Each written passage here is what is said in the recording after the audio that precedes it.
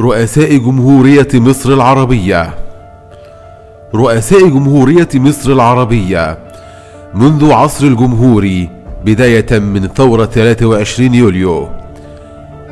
الرئيس محمد نجيب من الثامن عشر من يونيو 1953 حتى 25 فبراير 1954 وكان رئيس مجلس قيادة الثورة. الرئيس جمال عبد الناصر 25 فبراير 1954 إلى 27 فبراير 1954 الرئيس محمد نجيب 27 فبراير 1954 حتى 14 نوفمبر عام 1954 وعزله مجلس قيادة الثورة من منصبه. الرئيس جمال عبد الناصر. الرابع عشر من نوفمبر 1954 حتى 9 يونيو 1967 تنحى عن منصبه بعد إعلانه عن تحمله مسؤولية الهزيمة في حرب 67 زكريا محي الدين 9 يونيو 67 حتى الحادي عشر من يونيو 1967 جمال عبد الناصر 11 يونيو 67 حتى 28 سبتمبر 1970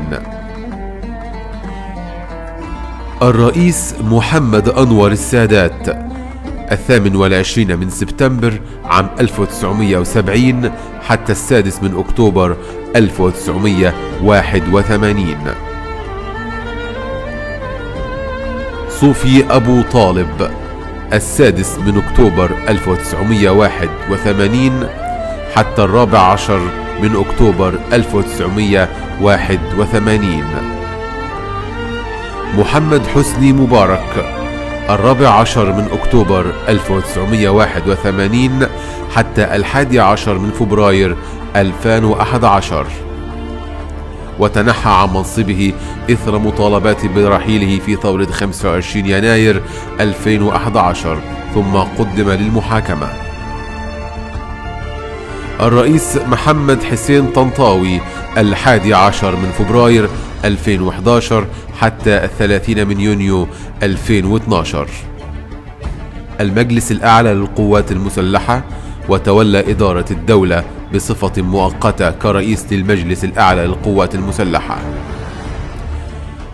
الرئيس محمد مرسي 30 يونيو 2012 حتى 3 يوليو 2013 حزب الحرية والعدالة وعزل في 3 يوليو 2013 وذلك بعد مظاهرات شعبية مطالبة بتنحيه دعمها الجيش المصري ثم قدم للمحاكمة.